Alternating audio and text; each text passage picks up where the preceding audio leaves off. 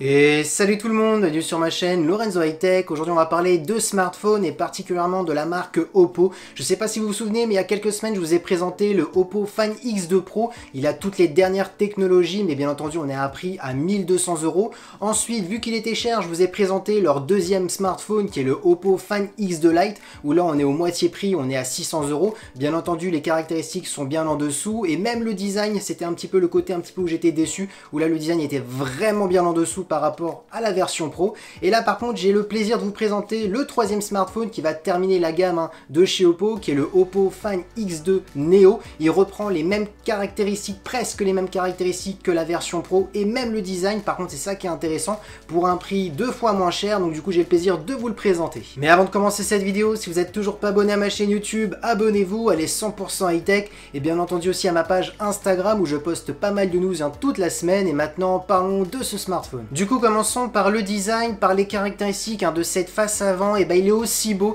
que la version Pro, donc c'est ça qui est intéressant et surtout deux fois moins cher parce qu'on est à 699 euros pour la première configuration. Donc là on a une diagonale de 6,5 pouces, la technologie on est sur une dalle AMOLED avec un taux de rafraîchissement de 90 Hz et bien entendu une bonne définition Quad HD+, donc là c'est les mêmes caractéristiques hein, que la version Pro. On a ensuite bien entendu une caméra frontale dans un point son, donc ça c'est intéressant parce que du coup on n'a pas d'encoche et ça nous permet d'avoir vraiment juste un écran full screen. Et concernant cette caméra, on est sur du 32 millions de pixels et bien entendu pour déverrouiller le smartphone, vous avez un capteur d'empreinte qui est sous l'écran. Du coup on a fini de parler des caractéristiques hein, de cette face avant, parlons maintenant du dos. Et ben j'aime bien le dos, il est aussi sobre hein, que la version Pro, aussi joli. On retrouve des capteurs alignés à gauche, hein, verticalement, donc c'est plutôt bien fait. Et maintenant rentrons dans les détails de ces capteurs. Du coup concernant ces quatre capteurs, et ben on retrouve un premier capteur de 48 millions de pixels, donc il sera le capteur principal, on aura énormément de détails. Le second capteur est un téléobjectif 2x, donc ça veut dire qu'on pourra zoomer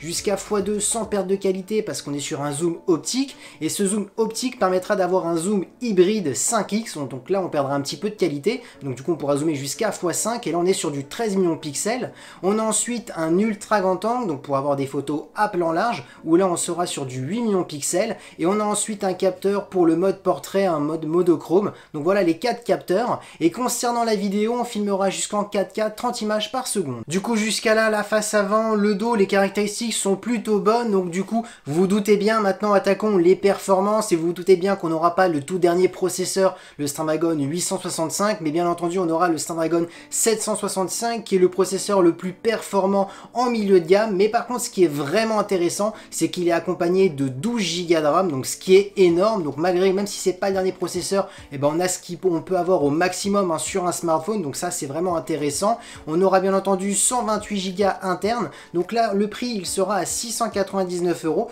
Par contre si vous voulez 256 Go, bah, c'est là la version au-dessus, où là on sera à 799 euros, donc 100 euros de plus. Donc là c'est vraiment intéressant en concernant les prix. Parlons maintenant de batterie, alors rien d'exceptionnel, on est sur du 4025 mAh, hein, c'est maintenant une généralité. Par contre pour la recharge ultra rapide de 30 watts, ça c'est intéressant parce qu'en seulement 56 minutes, votre téléphone sera rechargé.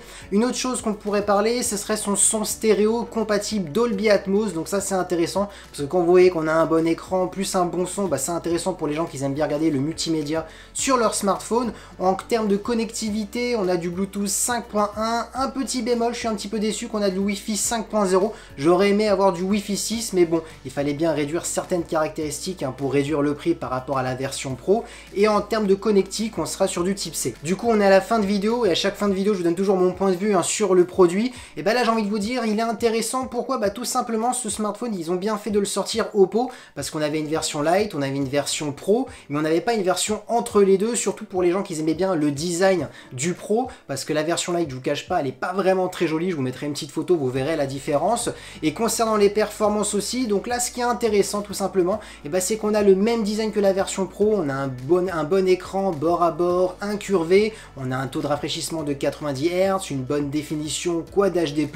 Donc là c'est parfait pour le multimédia, on a un bon son stéréo compatible Dolby Atmos. Concernant la photo, on sera en dessous de la version Pro parce que le processeur qui fait le traitement d'image est en dessous, mais malgré ça, on a quand même le Snapdragon 765 qui est le meilleur processeur milieu de gamme, donc ça veut dire pour les gamers, vous pourrez faire tourner tous les derniers jeux. Bien entendu, ça n'aura pas la même, fluidité hein, que le Snapdragon 865, mais il va durer dans le temps. Donc pour une personne lambda qui cherche un smartphone qui fait de bonnes photos, qui a un bon écran, qui veut un bon processeur, mais pour moins de 700 euros, il est vraiment intéressant. Et voilà, cette vidéo est terminée hein, sur le Oppo Find X2 Neo. J'espère qu'elle vous a plu. Si c'est le cas, n'oubliez pas le petit pouce like, de vous abonner si c'est toujours pas fait, de partager la vidéo. Et moi, je vous dis à très bientôt. C'était Lorenzo High Tech.